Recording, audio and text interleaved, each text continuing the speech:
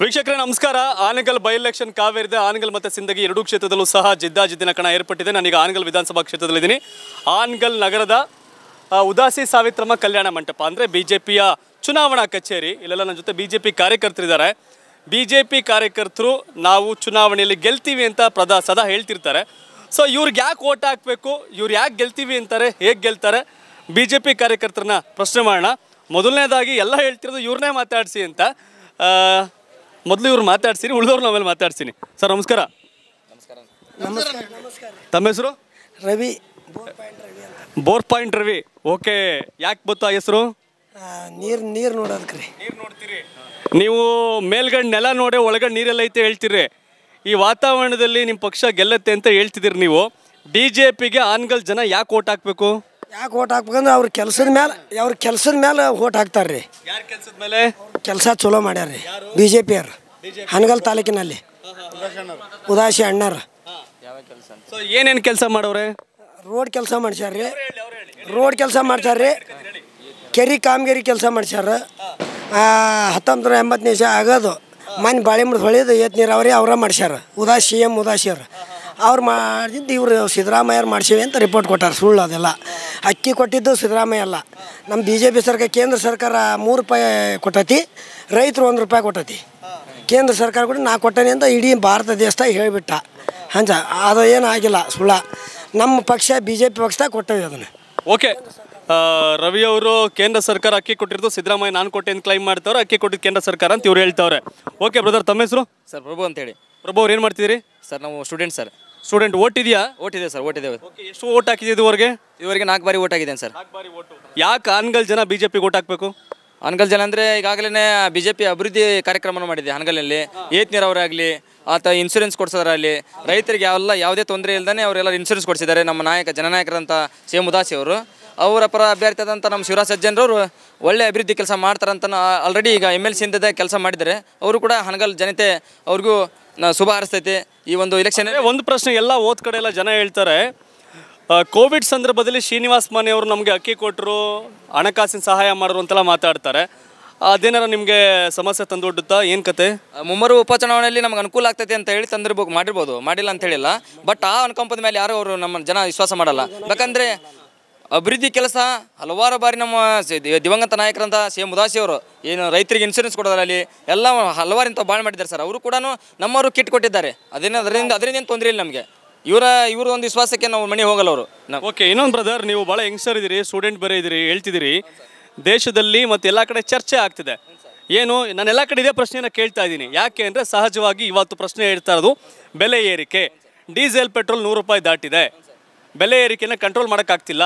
ಇದೇನಾರ ಬೇ ಅಂತ ಜನ ಆರೋಪ ಮಾಡ್ತಾ ಇದ್ದಾರೆ ಬಿ ಜೆ ಪಿ ಬಗ್ಗೆ. ವಿಪಕ್ಷಗಳು ಆರೋಪ ಮಾಡ್ತಾ ಇದ್ದಾರೆ. ಸೊ ಈ ಬಗ್ಗೆ ತಾವೇನು ಹೇಳ್ತೀರಿ? ನೀವು ಹೇಳ್ಬಿಡಿ ಹೋಗಿ ದೇಶ ಅಭಿವೃದ್ಧಿ ಆಗ್ಬೇಕಂದ್ರೆ ಬೆಲೆ ಏರಿಕೆ ಏನು ಅನಿವಾರ್ಯ ಅಲ್ಲ ಅದೇನು. ದೇಶ ಅಭಿವೃದ್ಧಿ ಆಗ್ಬೇಕು ಏನೊಂದು ಆಗಬೇಕು. ಇವತ್ತು ನಾವು ಪ್ಯಾಂಟ್ ಅಂಗಿ ಚಲೋತ್ನ ಹಾಕಬೇಕಾ ಸಾಲ ಮಾಡಬೇಕು. ಆ ಥರ ಅಭಿವೃದ್ಧಿ ಆಗ್ಬೇಕು ಏನೊಂದು ಆಗಬೇಕು. ಇವತ್ತು ಜ ಜಗತ್ತು ನಮ್ಮ ಭಾರತ ದೇಶ ಜಗತ್ತಿನ ಎಲ್ಲ ಎದ್ದು ಕಾಣ್ಬೇಕು ಆಗ್ಬೇಕಂದ್ರೆ ಇವತ್ತು ನರೇಂದ್ರ ಮೋದಿಯವರು ಕಾರಣದಾರ. ಅದ್ರ ಸಂಬಂಧ ಜ ಬೆಲೆ ಏರಿಕೆ ಏನು ಅನಿವಾರ್ಯ ಅಲ್ಲ ಅದೇನು. ಸೊ ಬೆಲೆ ಏರಿಕೆ ಇಂಪ್ಯಾಕ್ಟ್ ಆಗೋದಿಲ್ಲ ಅಂತೀರಿ. ಸೊ ಇನ್ನೊಂದು ಪ್ರಶ್ನೆ ಬ್ರದರ್ ನಿಮ್ಮದು ಓಟಿದೆಯಾ ಎಸ್ ಹೇಳಿ ಸರ್ ಈಗ ನಮ್ಮ ದಿವಂಗತ ಸಿ ಎಂ ಉದಾಸಿ ಅವರು ಅಭಿವೃದ್ಧಿ ಹರಿಕಾರರು, ಬೆಳೆ ಎಮ್ಮೆ ಹೋರಾಟಗಾರರು, ಅವರು ಇವತ್ತು ನಿಧನದಂತೆ ಈ ಚುನಾವಣೆ ಬಂದೈತಿ. ಇವತ್ತು ಆ ಅಭಿವೃದ್ಧಿ ಕೆಲಸ ಮುಂದುವರಿಬೇಕಂದ್ರೆ ಬಿ ಜೆ ಪಿ ಆರಿಸಿ ಬರಬೇಕು. ಶೇಕಡ ಎಂಬತ್ತೆರಡು ಪರ್ಸೆಂಟ್ ವೋಟಿಂಗ್ ಆದರೆ ಇಪ್ಪತ್ತು ಸಾವಿರ ಲೀಡ್ನೇ ನಮ್ಮ ಸಜ್ಜನರು ಆರಿಸಿ ಬರ್ತಾರೆ. ಇದುವರೆಗೂ ಶಿವಕುಮಾರ್ ಸಿ ಎಂ ಉದಾಸಿಯವರು ಮತ್ತು ಮನೋಹರ್ ತಹಶೀಲ್ದಾರ್ ಅವರು ಕಳೆದ ನಲವತ್ತು ವರ್ಷದಿಂದ ಕ್ಷೇತ್ರ ಆಳ್ವಿಕೆ ಮಾಡಿದ್ದಾರೆ.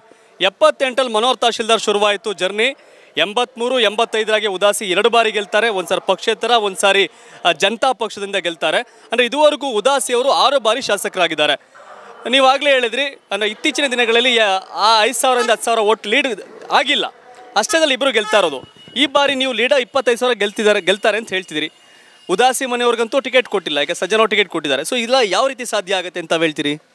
ಇವಾಗ ಚುನಾವಣೆ ಉಪಚುನಾವಣೆ ಬಂದಂತ್ರಿ ಉದಾಸಿ ಅವರ ನಿಧನದಿಂದ ಅನುಕಂಪ ಜಾಸ್ತಿ ಆಗಿದೆ ಜನರಲ್ಲಿ. ಇವತ್ತು ಎಷ್ಟೋ ಜನ ಕಾಂಗ್ರೆಸ್ನವ್ರು ಅದಾರ ಅಂದ್ರೂ ಅವರಿಂದ ಒಂದಿಲ್ಲ ಒಂದಿಲ್ಲ ಸಹಾಯ ಅವ್ರು ಉದಾಸಿ ಕಡೆಯಿಂದ ಆಗಿದ್ದೈತಿ ಆ ಅನುಕಂಪ ಇಟ್ಕೊಂಡು ಅವರು ಒಂದು ಓಟ್ ಹಾಕ್ತಾರೆ ಅಂತ ಭರವಸೆ ಐತಿ. ಅನುಕಂಪ ವರ್ಕೌಟ್ ಆಗುತ್ತೆ ಅಂತ ನೀವು ಹೇಳ್ತೀರಿ. ಎಸ್ ಬ್ರದರ್ ತಮ್ಮ ಹೆಸರು? ಲೋಹಿತ್ ಕುಮಾರ್ ಅಂತ ಲೋಹಿತ್ ಬಿ ಜೆ ಪಿಗೆ ಯಾಕೆ ಕೊಟ್ಟಾಕ್ಬೇಕು ಜನ?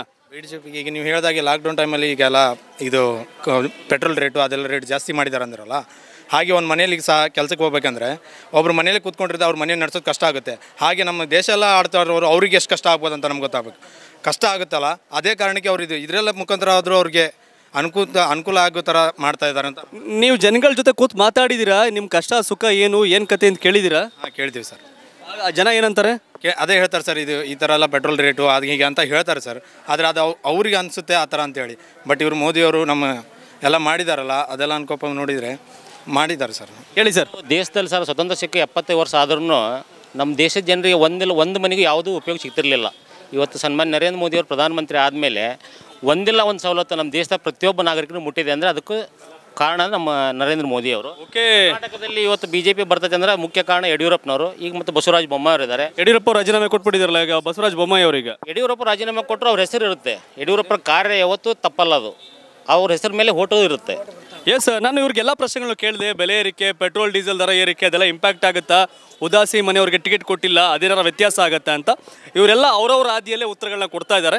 ಇವರು ಇವ್ರ ವಿಚಾರದಲ್ಲಿ ಕಾನ್ಫಿಡೆನ್ಸ್ ಅಲ್ಲಿ ಇದ್ದಾರೆ. ಇಪ್ಪತ್ತೈದು ಸಾವಿರ ಗಿಡಲ್ಲಿ ಗೆಲ್ತೀವಿ ಅಂತ ಅವ್ರು ಹೇಳ್ತಾ ಇದ್ದಾರೆ. ಬ್ರದರ್ ತಮ್ಮ ಹೆಸರು? ನಮ್ಮ ಹೆಸರು ಮಾಲ್ತೇಶ್ ಕೊಂಡೋಜಿ ಅಂತ. ಏನು ಮಾಡ್ತೀರಿ ನಾವು ಡ್ರೈವಿಂಗ್ ಮಾಡ್ತಿದ್ವಿ ಡ್ರೈವಿಂಗ್ ಮಾಡ್ತಿದ್ದೀರಿ. ಯಾವ ಗಾಡಿ? ನಮ್ಮದು ಟ್ಯಾಕ್ಸಿ ಡ್ರೈವರ್ ಯಾವ ಟ್ಯಾಕ್ಸಿ ಟಾಟಾ ಬೋಲ್ಟ್ ಅಂತ. ಓಕೆ. ನಿಮಗೆ ನಾನು ಸೂಕ್ತವಾದ ವ್ಯಕ್ತಿ ಅಂತ ಕೇಳ್ತೀನಿ. ಯಾಕಂದ್ರೆ ಇವರು ಗಾಡಿ ಇಟ್ಟವ್ರು ಇವರು ಪೆಟ್ರೋಲ್ ಡೀಸೆಲ್ ಹಾಕ್ತಾರೆ ಈ ಬೆಲೆ ಏರಿಕೆ ಅನ್ನೋದ್ರ ಬಗ್ಗೆ ಇದಾಗಿದೆ ಡೀಸೆಲ್ ಇದೆಲ್ಲ. ನಿಮ್ಗೇನು ತೊಂದರೆ ಅಂತ ಅನ್ಸಿಲ್ವಾ? ನಮಗೇನು ತೊಂದರೆ ಇಲ್ಲ ಸರ್. ದೇಶದ ಹಿತದಿಂದ ಸೈನಿಕರ ಹಿತದಿಂದ ನಾವು ಡೀಸೆಲಿಂದ ಎರಡುನೂರು ಆದರೂ ನಾವು ಗಾಡಿ ಓಡಿಸ್ತೀವಿ ಮುನ್ನೂರು ಆದರೂ ನಾವು ಇದು ಮಾಡ್ತೀವಿ. ಅದಕ್ಕೆ ಪೆಟ್ರೋಲಿಂದ ಡೀಸೆಲಿಂದ ರೇಟ್ ಇಲ್ಲ. ನಮಗೆ ಸೈನಿಕರು ಮುಖ್ಯ. ಮೋದಿಯವರು ಸೈನಿಕರಿಗೆ ಎಷ್ಟು ಬೆಲೆ ಕೊಡ್ತಾರೆ? ನಮ್ಗೆ ಆ ನೂರು ರೂಪಾಯಿನೇ ಅವರಿಗೆ ನಮಗೆ ಅನುದಾನ ಕೊಡಲಿ ಸೈನಿಕರಿಗೆ. ಯಾಕೆ ದೇಶ ಮುಖ್ಯ ನಮಗೆ? ನಮ್ಮದು ಡೀಸೆಲ್ ರೇಟು ಪೆಟ್ರೋಲ್ ರೇಟು ಮುಖ್ಯ ಅಲ್ಲ. ಎರಡ್ನೂರು ಆದರೂ ನಾನು ಮೋದಿಗೆ ಓಟ್ ಹಾಕ್ತೀನಿ ಬಿ ಜೆ ಪಿಗೆ ನಮ್ಮ ಇದನ್ನು ನೀವು ಓಕೆ ಹೇಳ್ತೀವಿ ಜನಗಳಿಗೆ ಹೇಳ್ತಿದ್ದೀರಾ ಅದರ ವಿಚಾರಗಳನ್ನ ನೀವು? ಹೇಳ್ತಿದ್ದೇವೆ ಸರ್ ನಾವು. ಈಗ ನೀವು ಕೇಳಿದ್ರಿ ಮಾನ್ಯವರು ಎರಡುನೂರು ರೂಪಾಯಿ ಅದರಲ್ಲಿ ಇರೋದು ಏಳ್ನೂರ ಐವತ್ತು ರೂಪಾಯಿ ಕಿಟ್ಟು. ಅದು ಒಂದು ವಾರಕ್ಕಾಗುತ್ತೆ ಒಂದು ದಿನಕ್ಕಾಗುತ್ತೆ. ಹಾಂ ದೇಶದ ಸೈನಿಕರಿಗೆ ಮೋದಿ ಎಷ್ಟು ಮಾಡಿದ್ದಾರೆ? ಇದೇ ಮನಮೋಹನ್ ಸಿಂಗ್ ಅವರು ಮೂಕ ಮನುಷ್ಯ ಆಗಿದ್ದ. ಸೈನಿಕರು ಎಷ್ಟು ಸತ್ರು? ಅದನ್ನು ಬೆಲೆ ಕೊಡಲಿಲ್ಲ. ಇವಾಗ ಮೋದಿಜಿಯವರು ಸೈನಿಕರಿಗೆ ಬೆಲೆ ಕೊಟ್ಟು ಬೆಲೆ ಕೊಟ್ಟರು ಬೆಲೆ ಕೊಟ್ಟರು ಅಂದರೆ ಅವ್ರಿಗೆ ಹೇಳಿದರು ಮೋದಿಜಿಯವರು ನೀವು ಬೇಕಾದ್ದು ಮಾಡ್ರಿ ಅಂತ. ಅದು ನಮಗೆ ಬೇಕು. ಇಡೀ ಪಾಕಿಸ್ತಾನ ಇಲ್ಲಿ ಬಂದರು ಬಾರ್ಡರ್ ದಾಟಬಾರ್ದು ಗೇಟ್ ಒಳಗೆ. ಇಂಡಿಯಾ ಹಂಗೆ ಮಾಡಿದ್ದಾರೆ. ಅದಕ್ಕಾಗಿ ನಮಗೆ ಬಿ ಜೆ ಪಿ ಬೇಕು ರೂಪಾಯಿ ಡೀಸೆಲ್ ಆದರೂ ನಾನು ನನ್ನ ಪೆಟ್ರೋಲ್ ಹಾಕಿಸಿ ನಾನು ಸ್ವಂತಿಂದ ಹಾಕ್ತೀನಿ. ನಮಗೆ ಮೋದಿನೇ ಬೇಕು ನಮಗೆ ಅವರೇ ಬೇಕು. ಇದನ್ನ ಹೇಳ್ತಾ ಇರೋದು. S S okay B J P ಚುನಾವಣಾ ಕಚೇರಿ ಹತ್ರ ಬಂದೆ ಇವ್ರುಗಳೆಲ್ಲ ಮಾತಾಡಿದ್ರು ಇವ್ರ ಅಭಿಪ್ರಾಯ ತಿಳಿಸಿದ್ರು. ನಾನು ಇವ್ರ ಮುಂದೆ ಇಟ್ಟಂಥ ಪ್ರಶ್ನೆಗಳಿಷ್ಟೇ. ಜನ ಬಿ ಜೆ ಪಿಗೆ ಆನ್ಗಲ್ ಜನ ಯಾಕೆ ಓಟ್ ಹಾಕಬೇಕು ಅಂತ? ಓಟ್ ಹಾಕ್ ಯಾಕೆ ಹಾಕಬೇಕು ಅಂದರೆ ಉದಾಸಿ ಅವ್ರು ಕೆಲಸ ಮಾಡಿದ್ದಾರೆ. ಆ, ಏನೋ ಏನು ಬೆಳೆ ವಿಮೆ ಆಗ್ಬೋದು, ಇವೆಲ್ಲವನ್ನು ಕೂಡ ಕೊಟ್ಟಿದ್ದಾರೆ ರೋಡ್ ಮಾಡಿದ್ದಾರೆ, ಎಲ್ಲ ಮಾಡಿದ್ದಾರೆ ಅಂತ ಹೇಳಿದರು. ಹಾಗೇ ಅತಿ ಹೆಚ್ಚು ಪ್ರಶ್ನೆ ಆಗ್ತಿರ್ತಕ್ಕಂಥದ್ದು ಪೆಟ್ರೋಲ್ ಡೀಸೆಲ್ ಬೆಲೆ. ಇದೆಲ್ಲ ಹೇಗೆ ಕನ್ವಿನ್ಸ್ ಮಾಡಿದ್ದೀರಾ ಅಂದಾಗ, ಎಲ್ಲ ಅವೇನು ಸಮಸ್ಯೆ ಇಲ್ಲ, ದೇಶಕ್ಕೆ ಒಳ್ಳೇದಾಗಬೇಕಾದ್ರೆ ಇವೆಲ್ಲ ಸಹಿಸ್ಕೋಬೇಕು ಅಂತ. ಸ್ನೇಹಿತರು ಒಂದು ಹೆಜ್ಜೆ ಮುಂದೆ ಹೋಗಿ, ಇನ್ನೂರು ರೂಪಾಯಿ ಇದ್ರೂ ಪರವಾಗಿಲ್ಲ, ನಾವು ಮೋದಿಗೆ ಓಟ್ ಹಾಕ್ತೀವಿ ಅನ್ನೋ ವಿಷಯವನ್ನು ಹೇಳಿದ್ರು. ಏನೇ ಆನ್ಗಲ್ನ ಕಣ ಕಾಂಗ್ರೆಸ್ ವರ್ಸಸ್ ಬಿ ಸಮರ ಏರ್ಪಟ್ಟಿದೆ. ಎರಡೂ ಪಕ್ಷಗಳ ನಡುವೆ ತುರಿಸಿನ ಸ್ಪರ್ಧೆ ಇದೆ. ನಲವತ್ತು ವರ್ಷಗಳ ಕಾಲ ನಾನಾಗಲೇ ಹೇಳಿದೆ, ಮನೋಹರ್ ತಹಶೀಲ್ದಾರ್ ಉದಾಸಿ ಅವರು ಈ ಕ್ಷೇತ್ರವನ್ನು ಆಳ್ವಿಕೆ ಮಾಡಿದ್ರು. ಆರು ಬಾರಿ ಉದಾಸಿ ಅವರು, ನಾಲ್ಕು ಬಾರಿ ಮನೋಹರ್ ತಹಶೀಲ್ದಾರ್ ಅವರು. ಈ ಬಾರಿ ಮಾನೆ ವರ್ಷ ಶಿವರಾಜ್ ಸಜ್ಜನ್ ನಡುವೆ ಹಣಾಹಣಿ ನಡೀತಾ ಇದೆ. ಬಿ ಜೆ ಪಿಗೆ ಯಾಕೆ ಎಕ್ಸ್ಟ್ರಾ ಪ್ರತಿಷ್ಠೆ ಅಂದರೆ ಬೊಮ್ಮಾಯಿ ಅವರು ಇದೇ ಜಿಲ್ಲೆಯವರು, ಶಿಗ್ಗಾವಿ ಕ್ಷೇತ್ರದ ಶಾಸಕರು, ಕರ್ನಾಟಕದ ಮುಖ್ಯಮಂತ್ರಿ, ಮಾಜಿ ಮುಖ್ಯಮಂತ್ರಿ ಯಡಿಯೂರಪ್ಪನವರು ಪಕ್ಕದ ಶಿಕಾರಿಪುರದವರು. ಇಲ್ಲಿ ಯಡಿಯೂರಪ್ಪನವ್ರ ಹೋಲ್ಡ್ ಕೂಡ ಇದೆ. ಯಡಿಯೂರಪ್ಪ ಹಾಗೆ ವಿಜಯೇಂದ್ರ ಅವರು ಈ ಕ್ಷೇತ್ರದಲ್ಲಿ ತುರುಸಿನ, ಬಿರುಸಿನ ಪ್ರಚಾರವನ್ನು ಮಾಡ್ತಾ ಇದ್ದಾರೆ. ಪಿಯಲ್ಲಿ ಸಚಿವರು ಸಹ ಇಲ್ಲಿ ಹೆಚ್ಚಾಗಿ ನಿಂತ್ಕೊಂಡು ಕೂತ್ಕೊಂಡು ಪ್ರಚಾರ ಮಾಡ್ತಾ ಇದ್ದಾರೆ ತಂತ್ರಗಾರಿಕೆಯನ್ನು ಮಾಡ್ತಾ ಇದ್ದಾರೆ. ಏನೇ ಆಗಲಿ ಆನಗಲ್ನ ಜನ ಮೂವತ್ತನೇ ತಾರೀಕು ಡಿಸೈಡ್ ಮಾಡ್ತಾರೆ ಎರಡನೇ ತಾರೀಕು ಆ ಫಲಿತಾಂಶ ಬರುತ್ತೆ. ಫೈನಲಿ ನಿಮ್ಮ ಕೋರ್ಟ್ಗೆ ಬಾಲ್ ಹಾಕ್ತೀನಿ. ನಿಮ್ಮ ಪ್ರಕಾರ ಆನ್ಗಲ್ಲಲ್ಲಿ ಯಾರು ಗೆಲ್ತಾರೆ? ಕಾಮೆಂಟ್ ಮಾಡಿ ತಿಳಿಸಿ. ಇದು ಕರ್ನಾಟಕ ಟಿವಿ ಕನ್ನಡಿಗರ ಧ್ವನಿ.